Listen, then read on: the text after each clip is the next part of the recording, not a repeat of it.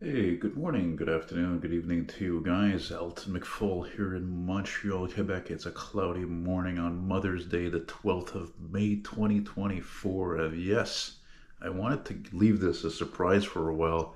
I did post a picture of this when I actually finished this a few days ago on uh, on the old uh, Facebox. Uh, but uh, yeah, well, we had to, of course, make a video of it before I shipped the damn thing because I'm going to ship it to, ship it tomorrow. I actually finished it a, a few couple of days ago, but uh, I uh, I wanted to. Uh, wait on shipping it because I proposed something else to Scott, who I, I did this painting for out in in Alberta, and Scott has become, of course, a very great friend of mine because we're we're so much alike. I mean, it's funny how much we both are absolute car fanatics, especially for neglected cars, big sedans, Plymouths, Buicks, whatever, Chevys, and and in this case, his one of his two Renault fives.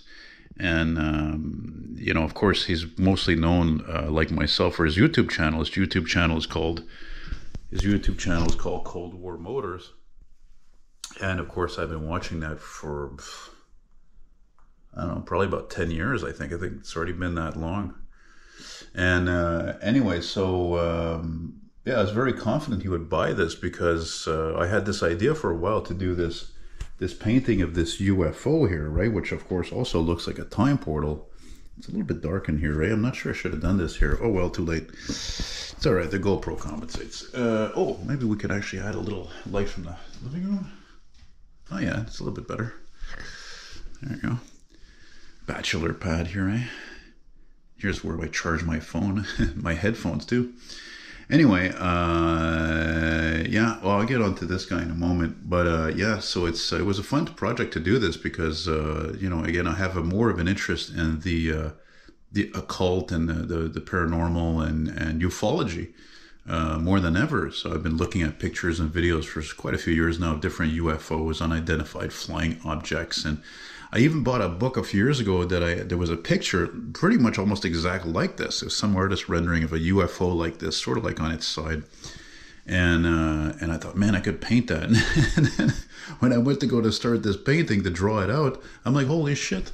I, I I sold a book. I sold that book like not even three weeks ago, I think. So I said, okay, so much for that.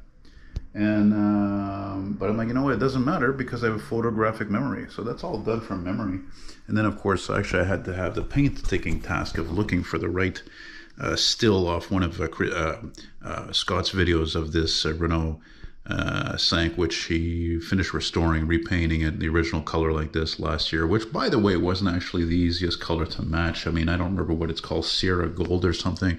Let's use some white and some black and of course, I got his dog, uh, uh, Francine, we calls Frankers right there. And there's the man himself.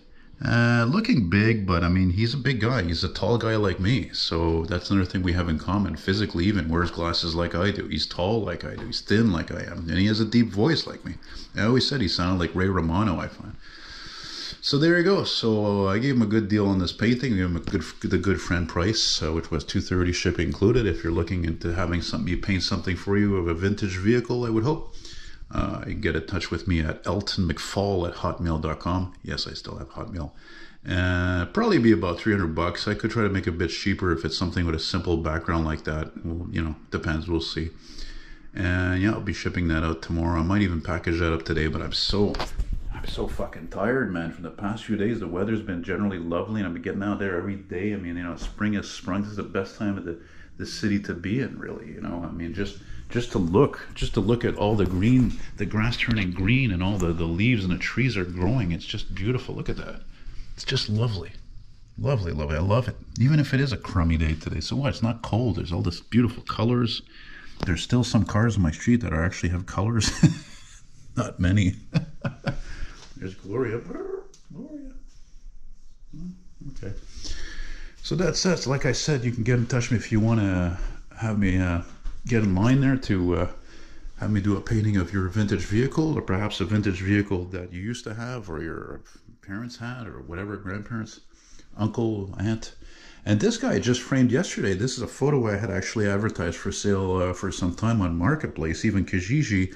And uh, my mom actually gave me this frame the other day when I went for supper. So I just listed this for $85 because I did, it is some work obviously to frame this and uh, lay it out correctly and straight. And sometimes you have to like take it apart once or twice again. I had to do that for a couple of reasons. They, the black paper I cut there was, was a little bit too long. So a little bit off by maybe a couple of millimeters. So I had to trim that down a bit so it would fit perfectly. And then of course I didn't like the, the, the, the paper, which is supposed to be black, but actually looks more like charcoal. So I actually gave it a coat of acrylic uh, black paint by hand so that so that it, uh, it looks uh, right. I don't, I don't talk too much, man.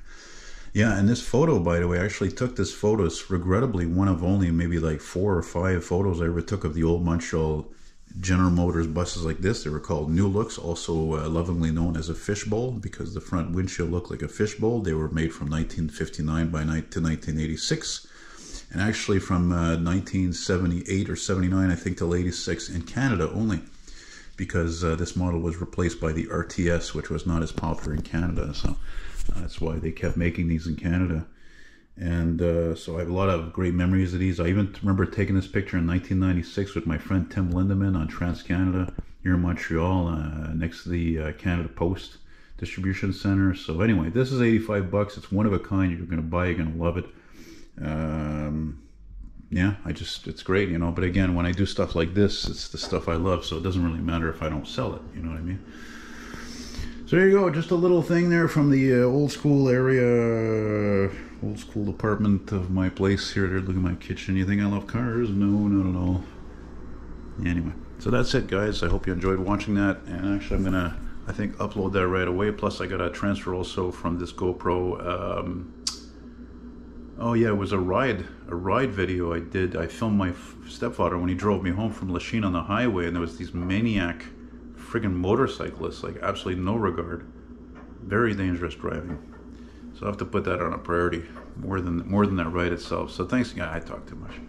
Thanks for watching, guys. Take care. Merci beaucoup and bonne. Bye bye. And thanks again to Scott Newstead, by the way, buddy. You rock on.